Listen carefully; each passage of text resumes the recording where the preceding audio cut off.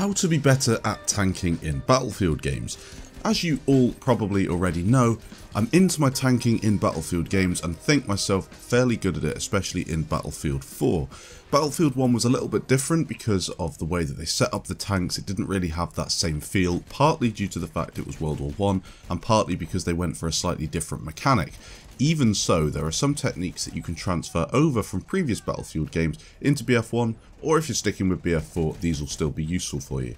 I have plenty more in-depth tank reviews and guides, tips, tricks, that sort of stuff on my channel. You can find them all in a playlist down below, be listed in the description, and you might also come across some or you might have watched some before that have helped you in the past.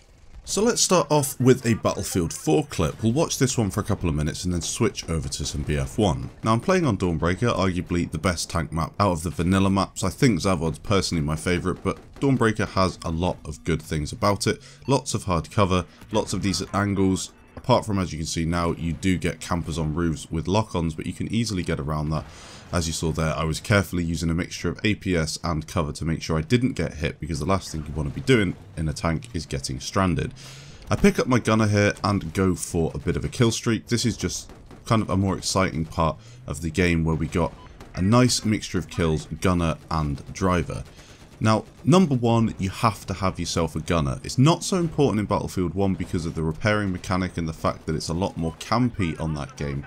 But in Battlefield 4 and Battlefield 3, you have to have a gunner. Now, the main reason for this is that they can get out and do the repping while you stay in and do the killing, or the other way around. You might choose that the gunner stays in and the uh, the driver gets out and does the repping. Either way, it's nice to have two people in one tank. The gunner can also watch out for C4, they can get a better angle looking up, they can go in third person and see lots of stuff, and if you're on comms, it's basically like having a second pair of eyes. The incendiary grenade is also insanely useful in the tank. Some people opt for proximity scan because that way they can just make sure nothing's around them and they can see stuff, but for me, the incendiary grenade is what you want. Now here's an interesting tactic that I've just used here. Moving on to the flag over at Alpha as I'm crashing into a lot of stuff, you saw me turn the tank around. Now that's because I don't want to be shot in the back. Now you'd think if I turn myself I'm also going to be at risk from Delta flag, but what we do as a tank team there is I will turn and the gunner will always watch behind. They will always watch where the rear of the tank is exposed. You can also see here as we ride up to this flag and get inside Alpha, which is also a really good tactic on Dawnbreaker, my gunner has straight away, without even asking, dropped an incendiary grenade into that camping little spot, lighting the whole place up. Now, he might not kill everybody, but he's definitely going to be damaging people, and what are they going to do when they see that? They're going to run out of the doors, and essentially you've just emptied a flag. As you can see here, people are parachuting off the roof. There's not a huge amount you can do with that when you're in a tank, you can't really get up on the roof. The incendiary grenades can be used. You can use the splash damage of whichever shell you've chosen. I'd probably recommend the AP shell in BF4. But you can see it's a simple tactic. Staying on flags, making sure you're cleaning the flag completely, using thermal, again something you don't get in BF1 but you don't really need it. Again, just using a mixture of splash damage and the incendiary grenade to clear that section of the map out. You'll also find that people quite often like to hide in corners and wait for you to leave the flag and then suddenly you'll see the flag burning again. Now this is really really useful in BF1 as we go. pretty decent shot on that heli in the distance. But you can see in BF1 they've offered you the the little thing at the top of the screen that tells you how many people are on a flag or what ratio of people are on a flag. In BF4 you have to be a little more clever than that. You actually have to check by driving onto the flag and driving back off the flag, seeing if it burns, if it doesn't burn. You can pretty much work out whether someone's on the flag. Now we're on to some Battlefield 1. Now my favourite tank on this game is the flanker tank, just purely because it has a turret and I think it offers a lot more in the way of traditional tanking in the sense that we've had it in BF3 and BF4 and obviously before that. But for me, I think it does offer the best kind of all-rounder. You're not that good against other tanks, but to be honest, the tank v tank gameplay in this game is quite frankly appalling. The tank versus infantry gameplay, however, is pretty dynamic. The fact that you've got grenades and rocket guns, so infantry have different ranges. As you can see though, we are getting hits, and I've just been hit down to 32 HP. The first thing I do is I drop myself in this building. I accidentally knock it down. If you notice in this game, the destruction is quite exaggerated.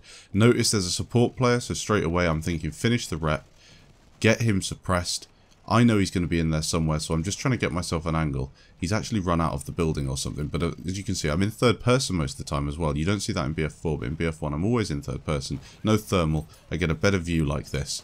Using the splash damage of the flanker tank to remove those people. Now, here's the trick with this uh, with this game when you're tanking you can kind of go about it like most people do. Take an artillery truck, take a heavy tank, and camp on the edge of the map and pick people off. The range is really impressive on the guns, uh, on the, the main shell and on the uh, the canister shell. People were doing it in the alpha, people were doing it in the beta. You had the howitzer tank, which was the king of that, although it was quite fun at close range because of the splash damage. But you're forced to sit back and camp because you can't rep. I mean, you get the repping uh, perk, but that's a bit of a gimmick to be honest you have to be complete. As you can see now, I'm trying to use it, but I'm getting lucky here that no one's pushing to attack me. In an ideal world, I'd be completely off the flag behind cover before using that. When it actually comes to repairing your tank as well on Battlefield 1, you are left in a bit of a sticky situation a lot of the time. You've got to sit there and either use the kind of in-house repair tool. As you can see here, we're getting jumped by a load of infantry and the best thing that I'd recommend for this is to back off and get yourself cover, as I'm doing here, making sure that I've always got somewhere to go, as I was caught a little bit just before. But again, with repairing, you see what I'm doing here. I'm repairing, I'm using the third-person camera to check if anybody's coming. Very, very simple stuff. Never get out of your tank to repair. It's a really stupid idea because of the way they've put the mechanics in, the, the time it takes you to get back into the tank, they don't want you to get into the, they don't want you to get out and get back in. You need to have a gunner. So if, if that's something that you want to do and you want to work with your teammates, you need to take a heavy tank or a land ship. You could get your gunner to run around after you, but I really wouldn't recommend that because they're just going to have a horrible game and get splash damage by all the grenades that are being aimed at you. So you are in, as I said, a tricky situation. If you are looking to work in tandem with a teammate, definitely take the support class with the repair tool.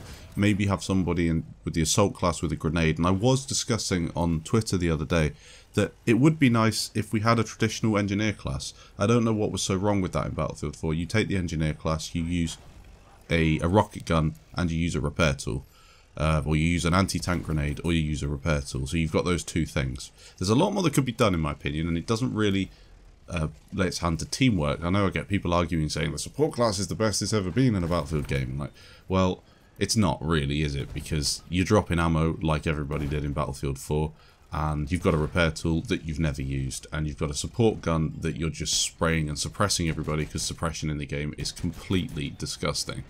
Um, but there we go, that's my two cents before I get off on a rant. Again, we've got a little clip here of repairing in Battlefield 1. Attacking on the brow of the hill, I think this was part of like a 60 kill streak in the process of this one. Again, you can see I'm being really, really passive on the side of a hill, camping, because that's how this game is supposed to be played in the tank. The range of the guns show you that. It's the same in BF4 in a way, but the fact you can have a gunner in all your tanks kind of makes it a little bit more you know, you can be a little bit more aggressive and tank battles are very good. As you can see, I'm sitting behind the spawn. This is a favourite spot for campers. Just using the flanker tank canister shell to mow people down. My appalling aim there not really working. But you can actually use this canister shell across the map. And it's also very effective against planes. Um, as you see here, I get hit by a grenade, and if you look at the damage I've taken, it's about 30, and that's a really good shot by that guy as well. He spotted me on the map, and he's led his grenade quite well, so that's another 30. I know that I can only take one more, so I'm going to try and find the guy who I suspect is using K-bullets or a rocket gun. Try and take him out, use the rocks for cover. I do actually get hit by the rocket gun, use the repair technique, get that guy taken down, try and get myself a bit of an angle against the spawn uh, that's at the top. And as you can see, a artillery truck camping because that's what you do in the arty truck. I use him as cover, I get it wrapped up and I go back in. So that's pretty much the meta of the game. I mean, there's not too much more that you can you can do.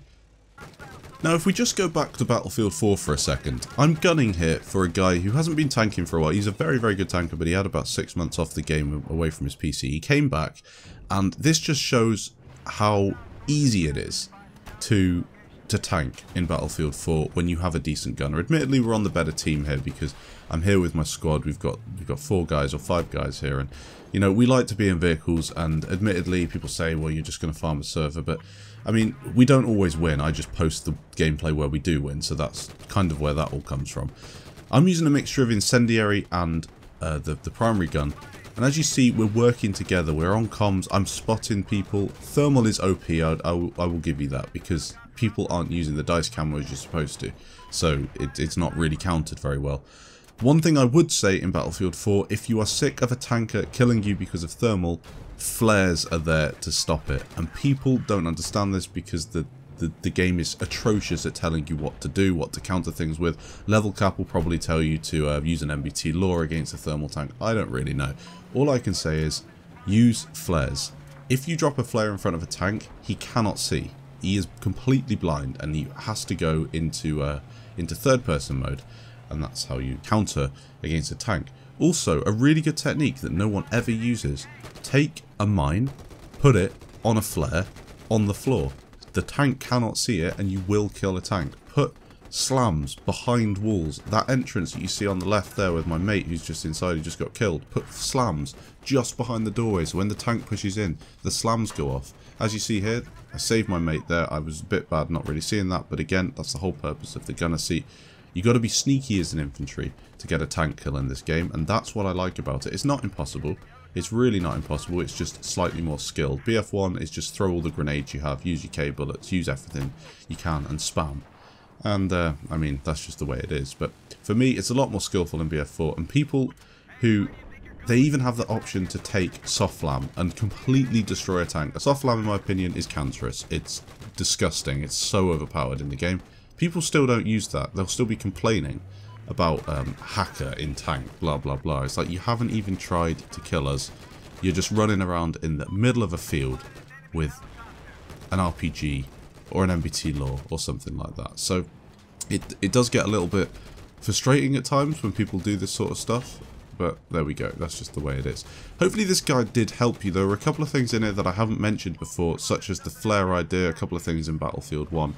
Um, you really can be effective on all Battlefield games in a tank. I'd say it's way more exciting on Battlefield 4. As you can see from this gameplay, the KPM is through the roof because the infantry just can't deal with it. And they don't know the, the techniques to get rid of a tank. Um, again, it's fairly similar in BF1, but more the onus is put on the tank driver, I think, than ever before, because obviously the gunners either aren't there in the light tank, or you, you're really struggling in a heavy tank because you're forced to camp because of the way the game is. Let me know in the comments what you think of Battlefield 1 and the tanking there. Is it something that you like? Because I've heard some people do enjoy tanking quite a lot, and they are having a lot of fun with it. Thanks a lot for watching guys, and I'll catch you in the next video.